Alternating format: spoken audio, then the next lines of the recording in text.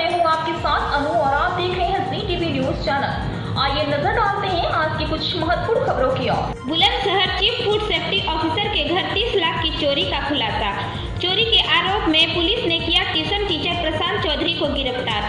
13 नवंबर को छठ पूजा में शामिल होने के लिए गया था चीफ फ़ूड सेफ्टी ऑफिसर का परिवार। मास्टर चाबी बनाकर ट्यूशन टीचर ने दिया चोरी की वारदात को अंजाम।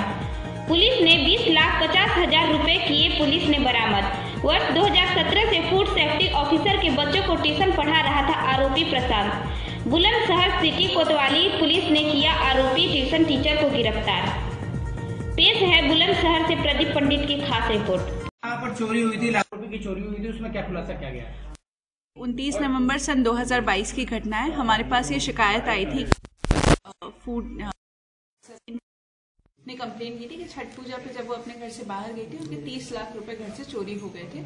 इसमें उन्होंने संदेह जो घर पे ट्यूशन पढ़ाने आते श्री प्रशांत, उन्होंने ही चोरी करी है। तो हम लोग इस पे कंटिन्यूसली रहे थे और फाइनली जो प्रशांत है, जो उनके ट्यूशन टीचर हैं, उन्होंने ये एक्सेप्ट किया है कि 2017 से वो इस घर में बच्चों को ट्यूशन पढ़ाने आते थे। उनके घर के सभी लोगों से संबंध बहुत अच्छे बन गए थे।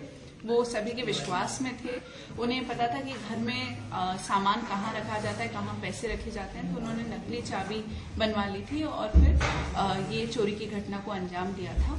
इनके पास से हमने 20 लाख रुपए अड़तालीस हज़ार बीस लाख अड़तालीस हज़ार रुपए बरामद कर लिए हैं और अभी न्यायिक अभिरक्षा में मैम जो आरोपी है वो कितना पढ़ा लिखा है और क्या करता है? वो इस समय एम कॉम कर रहे हैं। आईपी कॉलेज से उन्होंने बी किया है। वो बीएड भी कर चुके हैं। कितने साल से पढ़ा रहा था ट्यूशन? 2017 से इनके दोनों ही बच्चों को सारे सब्जेक्ट्स को पढ़ाया मैडम कितने की चोरी की घटना लिखाई गई थी?